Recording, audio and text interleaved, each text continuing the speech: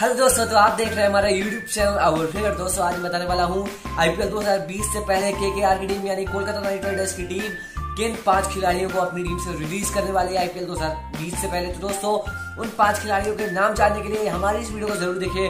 Video को like करिए, video के साथ ज़्यादा शेयर करिए और चैनल को सब्सक्राइब करके बदले में लाइक उसको दबा दिए। चलिए वीडियो शुरू करते हैं।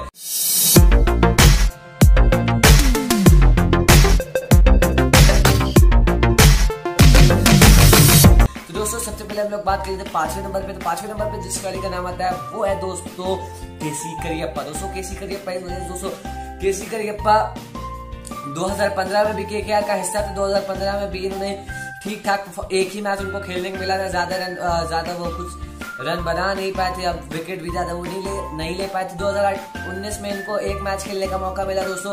एक मैच में इन्होंने सिर्फ़ नौ रन बनाए और एक भी विकेट इन्होंने लिया और एक बहुत ही मेन कैच छोड़ा था जॉनी बेस्टो का। तो दोस्तों, अब बात करें नंबर चार खिलाड़ी नंबर चार खिलाड़ी जो हमारे लिस्ट में है, वो है दोस्तों जो डेनली जो डेनली दोस्तों, इस वजह से इस साल वो के की टीम में है और दोस्तों, इनको एक मौका मिला दिल्ली कैपिटल्स के खिलाफ खेलने का। दोस्तों, इन्होंने पहली बॉल पे ही आउट हो गए थे, एक भी रन इन्होंने नहीं बनाया दोस्तों, इनको भी रिलीज़ किया जा सकता है।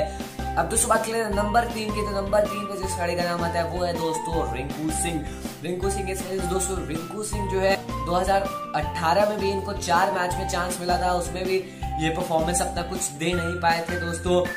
इस 2019 के आईपीएल में इनको दोस्तों पाँच मैच में चांस मिला, जिन्होंने, जिनमें इन्होंने सिर्फ़ सैंतीस रन, यानी थर्टी सेवन रन बनाए और एक भी विकेट इन्होंने नहीं लिया दोस्तों।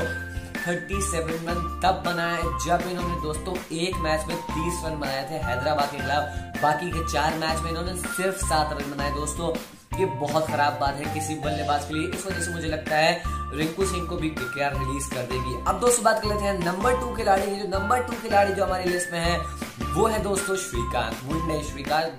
श्रीकांत, दोस्तों आईपीएल 2019 में ही के के टीम में लिए गए दोस्तों। इनको एक भी मैच मौका नहीं दिया गया है दोस्तों, इस वजह से मुझे लगता है इनको भी टीम से रिलीज़ कर दी जाएगी, क्योंकि दोस्तों जिन प्लेयर को चांस नहीं मिलता, उनको टीम दोस्तों उनको रिलीज़ कर देती है कि कोई फ़ायदा नहीं है जब उन प्लेयर का अगर आप खिला नहीं रहे तो उनको टीम में रखने का कोई फ़ायदा है नहीं। तो दोस्तों बात करते हैं नंबर वन खिलाड़ी की। तो नंबर वन आप खिलाड़ी जो हमारी लिस्ट में जिनको रिलीज़ होना चाहिए के की तरफ़ से, वो है दोस्तों रॉबिन थप्पा दोस्तों रॉबिन थप्पा इस वजह से दोस्तों रॉबिन थप्पा इस साल, यानी 2019 के आईपीएल में इनको काफ़ी खराब परफॉर्मेंस अपना दिया था। जब टीम को ज़रूरत थी हिट करने की तो वो डिफेंस करके खेलते थे। और जब टीम को ज़रूरत होती थी कि डिफेंस करके खेला जाए, तब वो हिट करते थे। दोस्तों, ऐसे के के आर की टीम काफ़ी डगमगा रही थी। सबको उनसे बहुत उम्मीदें रहती थी ये आएँगे रन बनाएँगे। स्टार्टिंग के दो मैच में तो इन्होंने रन बनाया, उसके बाद इन्होंने रन बनाना कम कर दिए। जिस मैच में इन्होंने एक मैच में आरसीबी से जो हारी थी के के आर उसमें 20 बॉल पे सिर्फ़ नौ रन बनाए थे दोस्तों।